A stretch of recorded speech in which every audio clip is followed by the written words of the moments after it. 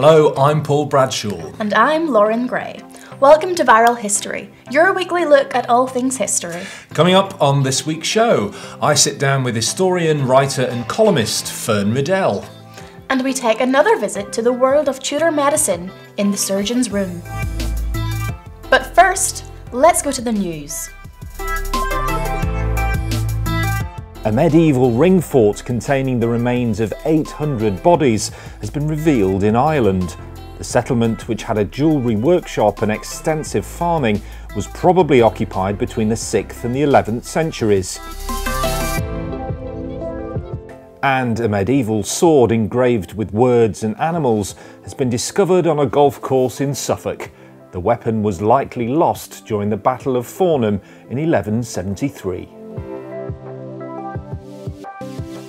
Next up, Fern Riddell is a cultural historian and an expert in sex, suffrage, and entertainment in the Victorian and Edwardian eras. And since 2014, she's been cultural historian for the primetime BBC and Amazon drama Ripper Street. Recently, Viral History had great pleasure in talking with her. What is it about Victorian society and its mores in particular that continue to fascinate? I think we are absolutely captivated by the Victorian period. We have never left it behind and it holds us so much in our cultural history. Especially at the moment, we really are seeing a resurgence in Victorian rhetoric, Victorian ideas, conservative values and a restrained or repressed society.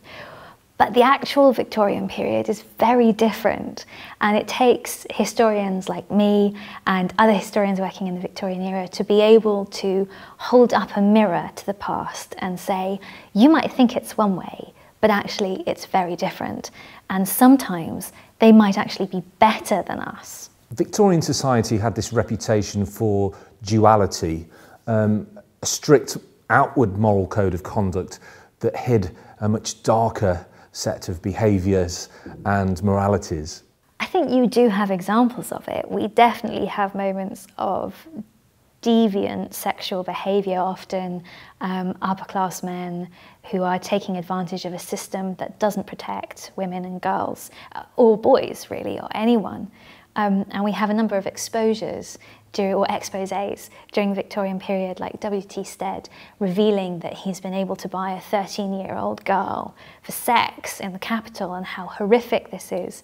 And this revelation in the papers is really what causes us to raise the age of consent to 16. So it's a very important moment. But those stories have dominated what we think about history and have come to be our only understanding of the Victorian period and sex in the Victorian period. And actually, the reality is very different. The majority of people have very modern ideas about sex. They think that sexual pleasure is really important. They focus on female sexual pleasure as being the thing that everyone needs to understand and know about because they think it's the only way you got pregnant was if the woman had an orgasm. And we never talk about this when we're talking about the Victorians. We never talk about how much they valued love and sex, and they thought those two things were absolutely key and you couldn't separate them. We have really only one understanding of sex in the Victorian period, and that is this deviant, dark morality. And much like today, it happened, but it's a very small part. The majority of Victorians had very healthy, active interests in sex.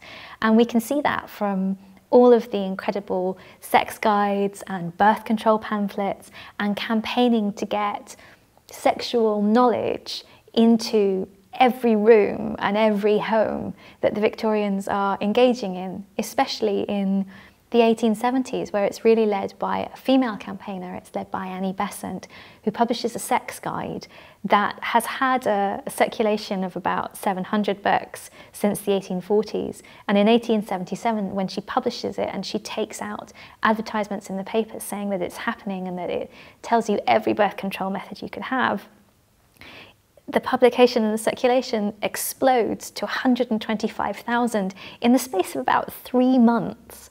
So there's clearly a huge desire for sexual knowledge in the Victorian period, and we've never acknowledged that in our understanding of them.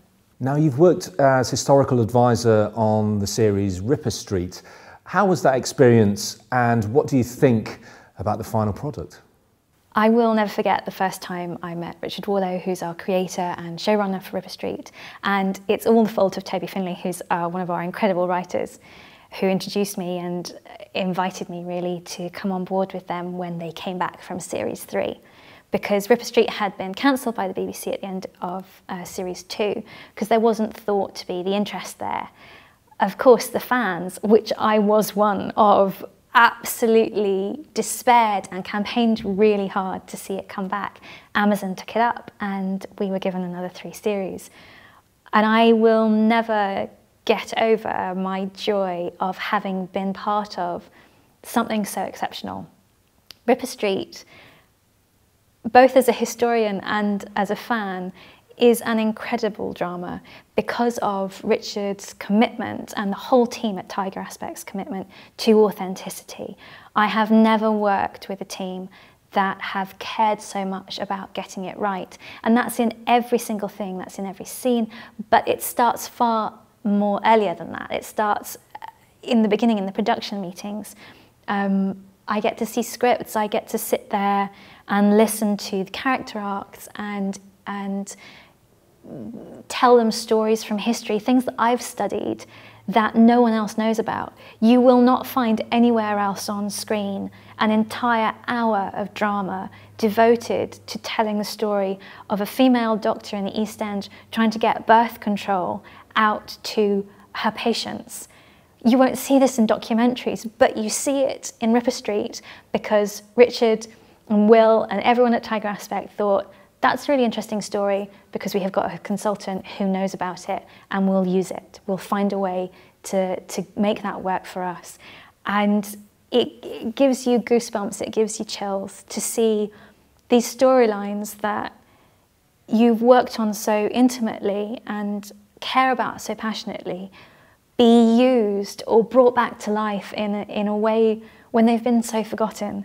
And I, I absolutely cannot express the joy that I've had in, in being part of this show.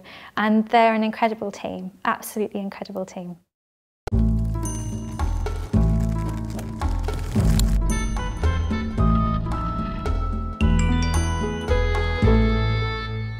Ah, it's great to finally get Fern Riddell on the show. Next up on Viral History, it's time to head back to the 16th century and make another visit to the surgeon's room.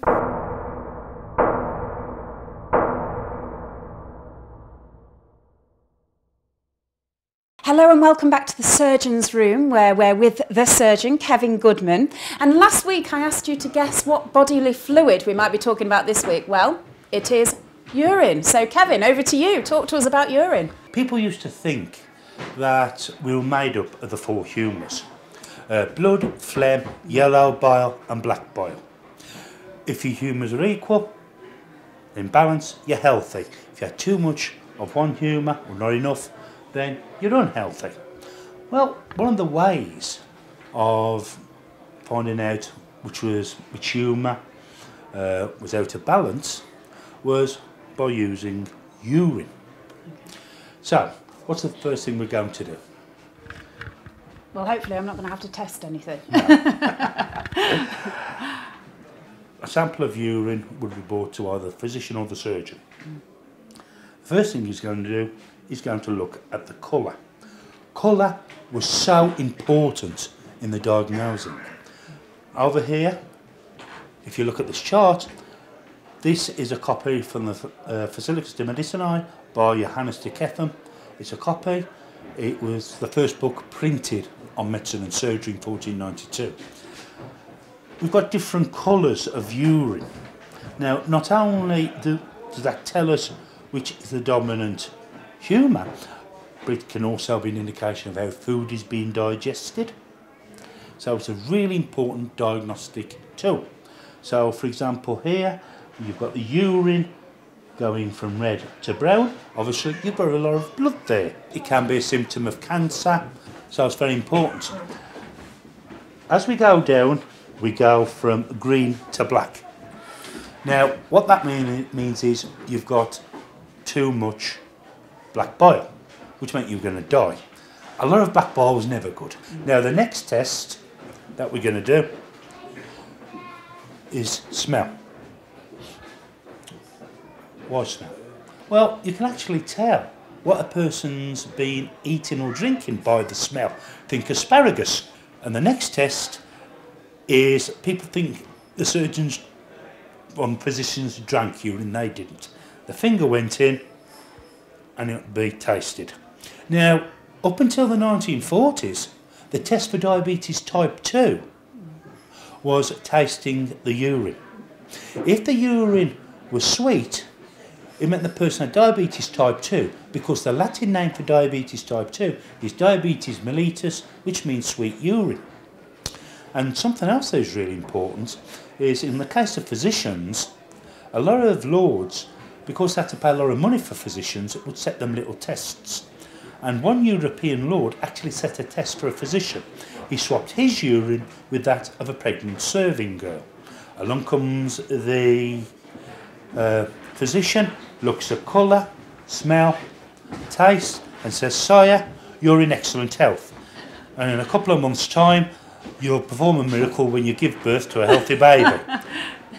Today, what is the test for pregnancy? You wee on a stick. It detects the hormones. It could taste the concentration of hormones.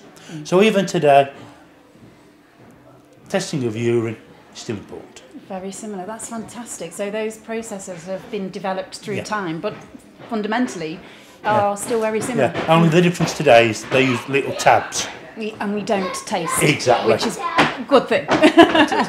well, thank you very much again, Kevin. A lovely chat as always. And next week, tune in. We'll be talking about more things to do with surgery with Kevin Goodman.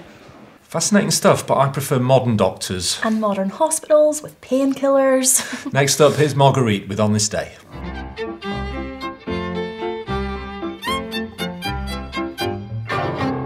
Thirteenth of April, conjoined twins, Chang and Eng Bunker, married sisters Sarah and Adelaide Yates today in 1843 and proceeded to sire 21 children.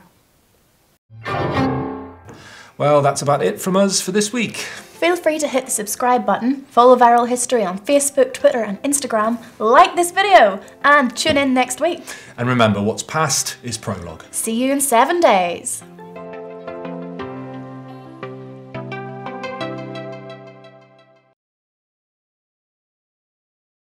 Next up, Fern Riddell is a cultural historian and an expert in sex, suffrage, and entertainment in the Victorian and. I feel like I've said those lines already. Hiccups from the Fanta.